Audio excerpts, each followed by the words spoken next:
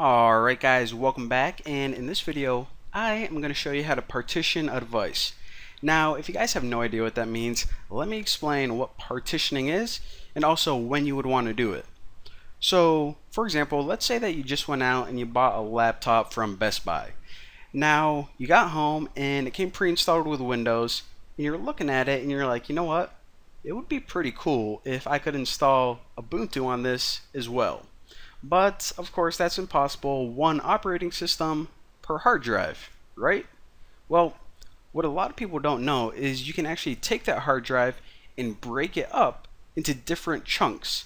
Now this is called partitioning and whenever you partition a hard drive, in other words break it up into different parts, you can install an entirely new operating system on each part.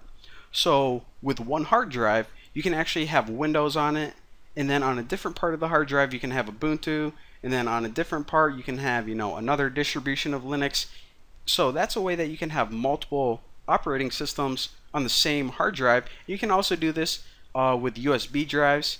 So if you want to carry around a USB drive with a bunch of different operating systems on it or you know broken up for whatever reason you can do it. And it's really useful and it's really cool. So let's figure out how the heck to do it.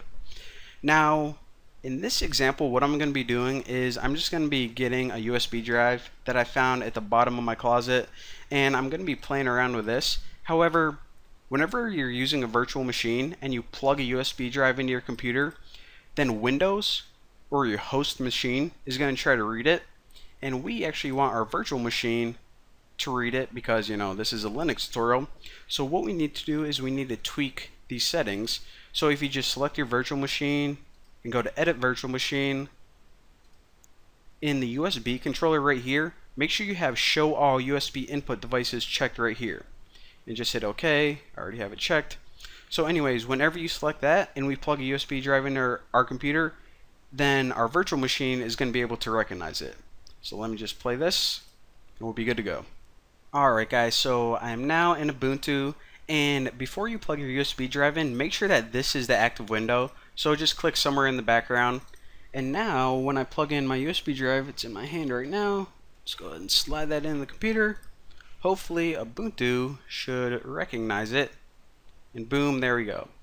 So that's my USB drive. Again, brand new, nothing on it. Um, it's kind of old actually, a 32 gigabyte. So let's close out of that.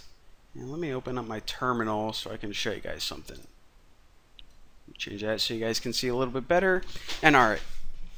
So in order to um, better understand how partitions work, I actually want you guys to download this tool called gparted. And this is a visual editor so you guys can actually visually see um, you know, partitions being made in all your different devices. So if you run sudo apt minus get install gparted, I already have it installed. So it's just going to update for me. So what it's going to do for you is it's going to go online, find it, and install this program on your computer. And in order to run it, all you do is you write sudo gparted, and then it's going to pop open. So let me minimize this. And this is gparted right here. How beautiful is that? Alright. Now, before we actually start partitioning our USB drive, breaking it up into chunks, I want to talk to you guys a little bit about how Linux is different than Windows as far as naming conventions go. So whenever you're with Windows and you know you want to go to your hard drive, you're going to look for something called C. Maybe you plug the USB drive in there, you're going to look for a drive name called E. So Windows, what it does is whenever it has a new disk or device, it labels them with letters. C, D, E, uh, you know, maybe F, well, Linux is a little bit different. Now, right now, I only have two main devices, my hard drive and the USB drive. So in this top right corner, we're going to see that those are labeled dev SDA and dev SDB. Now my hard drive is only 20 gigabytes because I'm on a virtual machine, but usually this main one would be a little bit better, or excuse me, a little bit bigger. Now if I were to plug another USB drive in, that would be dev SDC and then dev SDD. So basically any new device you have in, whether it's your hard drive, a USB drive, or whatever, it's going to have a new letter. So just remember that Linux is different than Windows in that aspect because your different devices follow a different naming convention. So let me just keep my hard drive selected and I want to show you guys something else. So if you guys are like, okay, so this is all your hard drive you're looking at right now, then what the heck is all this? SDA 1, SDA 2, SDA 5? Well, whenever you have different partitions on the same drive, then they label those with a different number. So SDA 1 is one part of your hard drive, SDA 2 is another part of your hard drive, and these could be SDA 3, 4, 5, so on and so forth. Now unallocated, this means that this part of the hard drive, it doesn't have any partition assigned to it. You know, we didn't do anything with that yet. So basically, this is all my hard drive right here, and we can see that it's broken up into different chunks called partitions. Now, if I switch over to the USB drive I just plugged in, this is uh, a little bit more easy to understand.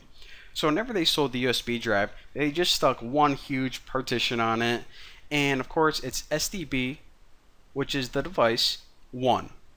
Now, whenever we add another partition, that's going to be SDB2, SDB3, depending on how many partitions we add to it. And of course, with each of these partitions, if we wanted to, we can install an entirely new operating system, but let's uh, not get ahead of ourselves right now. Now I know that this is kind of overwhelming, but I just want to explain one more thing before we actually start, uh, you know, looking around and actually deleting this partition and making new ones. And that is, whenever you make a partition, what you're going to do is you're going to set aside a certain amount of space. For example, let's set aside 8 gigabytes, uh, theoretically. So we have our partition, 8 gigabytes set aside, and then the next thing we have to do is we're going to make a file system on it. So a file system is just saying how your files are going to be organized on that partition. So once you have your file system, you're going to mount it or lock it on your partition. So again, you have a, a disk, you're going to break it up into partitions, you're going to make a file system that says this is how the files are going to be organized, and then once it's you know created, you're going to mount it on. So that's all we're going to do. So now let's go ahead and get our hands dirty.